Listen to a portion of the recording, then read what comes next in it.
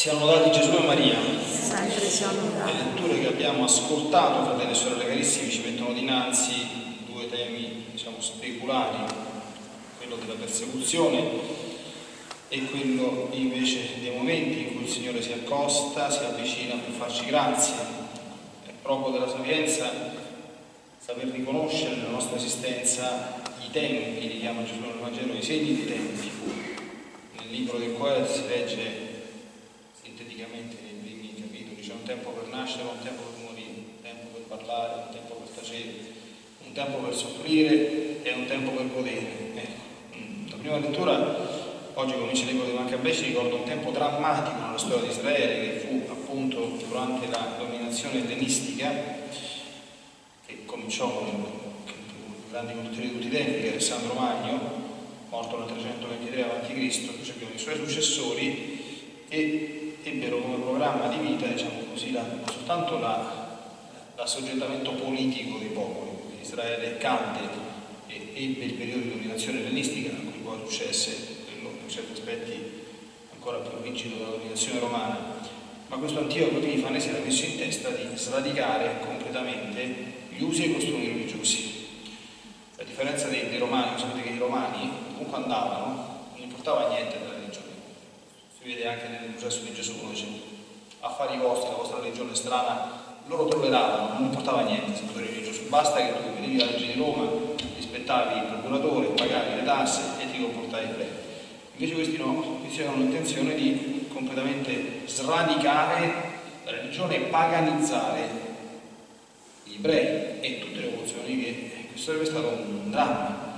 Alcuni, come dire, eh, eh, cedettero a queste prevaricazioni, altri no, e fu un tempo doloroso di grandissima persecuzione per Israele, sentiremo nei prossimi giorni eh, anche degli eventi, delle scene molto, molto drammatiche, no?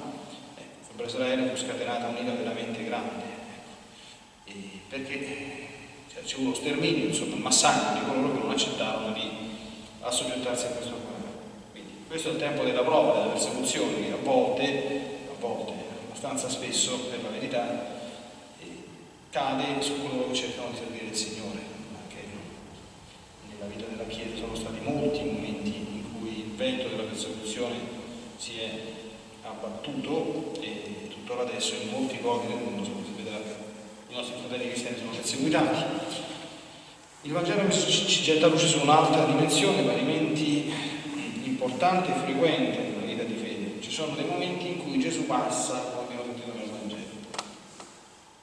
Se intendo passare alla gente, ma passa Gesù il Nazareto. Quindi Gesù stava camminando, cioè la, proprio la vita di Gesù, gli anni che è stato qui, Gesù non stava mai fermo, si muove in continuazione. È un'immagine simbolica perché ci sono dei momenti nella nostra esistenza, è bene che noi impariamo a riconoscere, in cui Gesù si avvicina in maniera particolare, è pronto a darci una serie di grazie. Lui lo fa, però vuole in un certo modo essere trattenuto, intercettato, cioè vuole che tu riconosci questo suo passaggio e lo chiami, in qualche modo ne approfitti, gli dai tempo, gli dai spazio, gli dai modo. Se non passa oltre, tu la grazia non c'è avuta. Questo cieco comincia a gridare, vedete c'è anche il grida, poi non ascolta, poi alla fine si ferma e guarisce, no? Quindi è un modo per dirci che alle offerte di grazia che Gesù ci dà noi dobbiamo rispondere, corrispondere bene, perché è una cosa grande che Gesù venga a visitare il suo popolo. Ecco, adesso tra poco comincia il tempo di avvento, su questi temi la liturgia della Chiesa ci farà molto riflettere, eh, però è una visita che quando uno bussa alla porta di casa chiede un'accoglienza, perché tu gli apri e gli prepari un ambiente decente perché possa liberamente darti tutto il molto che ha da darti. Perché se accogliamo Gesù facciamo del lui è contento di poterci fare del bene, ma il bene lo riceviamo noi, lo benediciamo soltanto noi a condizione che lo sappiamo riconoscere, invocare e fermare. Dice il tempo della prova e c'è il tempo della grazia.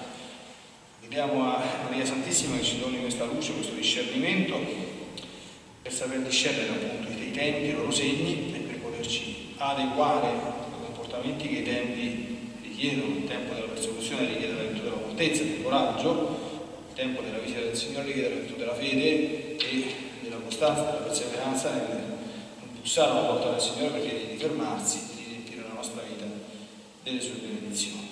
Aiuti la Madonna ad avere questa luce e a comportarci sempre in maniera adeguata ai momenti che Dio ci pone dinanzi e ci fa. Siamo lodati Gesù. Sempre siano lodati.